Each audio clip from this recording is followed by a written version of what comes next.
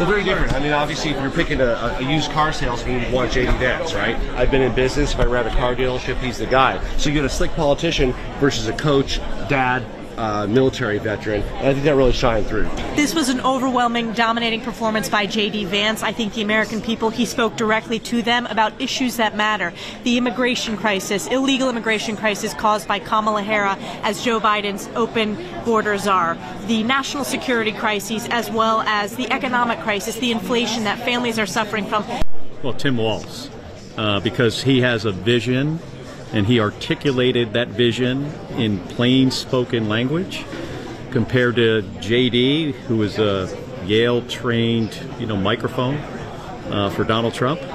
Look, I think JD did an excellent job. I mean, he was his authentic self, and he talked directly to the issues. And I think he knows like we need to go out there and talk about what we want to do for mothers, what we want to do for children.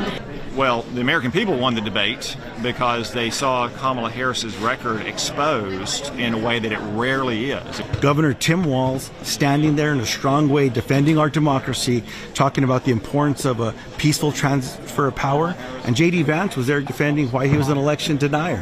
When asked point blank about reproductive access, he said, Well, we've got to do better about communicating. He didn't answer the questions. And honestly, as women are dying, we need answers. We don't need dancing.